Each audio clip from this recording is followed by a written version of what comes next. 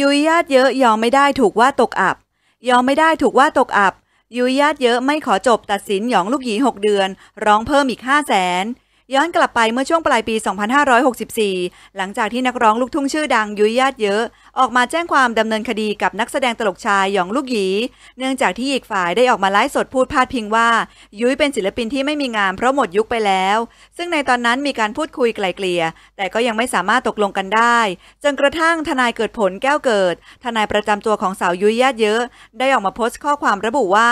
หยองลูกหยีรับสารภาพในชั้นพิจารณาของศาลจังหวัดนนทบุรีจำเลยรับสารภาพต่อศาลและวางเงินบรรเทาความผิด 1 0,000ศาลพิพากษาจำคุก 6 เดือน ปรับ 10,000ยุยญาติเยอะยังติดใจค่าเสียหายในส่วนแพ่ง เตรียมฟ้องเรียกค่าเสียหาย 5 0 0แสนก่อนที่ล่าสุดยุยญาติเยอะจะโพสต์เฟซบุ๊กส่วนตัว โดยระบุข้อความว่า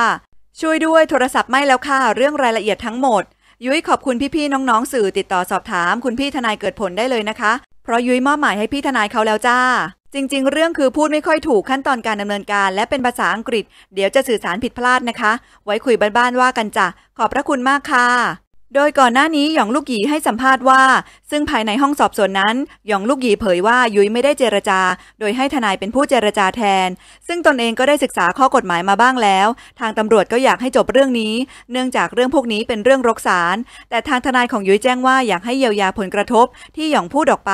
เจ้าตัวก็โต้กลับไปว่าผลกระทบมีมานานแล้วสำหรับพี่น้องศิลปินลูกทุ่ง ทางตนเองก็เสนอให้ว่า อยากให้เยียวยาเท่าไหร่ลองบอกมา เพราะตนเองอยากจบเต็มที แต่ทางด้านสามีของยุ้ยก็ตอบออกมาว่า 5 0 0แสนซึ่งตนเองบอกว่าหากหลักพันหลักหมื่นยังพอคุยกันได้ แต่หลักแสนเยอะไป